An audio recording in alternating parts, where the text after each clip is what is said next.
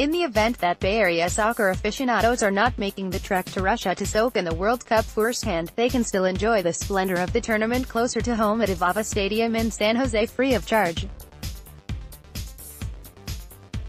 The San Jose Earthquakes will open up their stadium and host viewing parties during the summer soccer contest featuring the best national teams from around the globe. Fans will be able to catch the action on the stadium's video board. The best part for soccer fans, entry into the stadium and parking will be free each and every day of the tournament, according to the Earthquakes.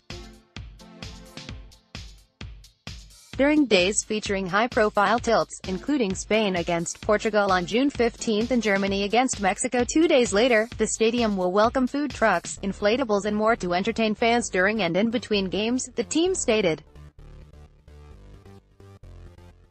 Folks who are brave and dedicated enough to make the trip to the stadium to catch early group stage games, starting as early as 3 a.m.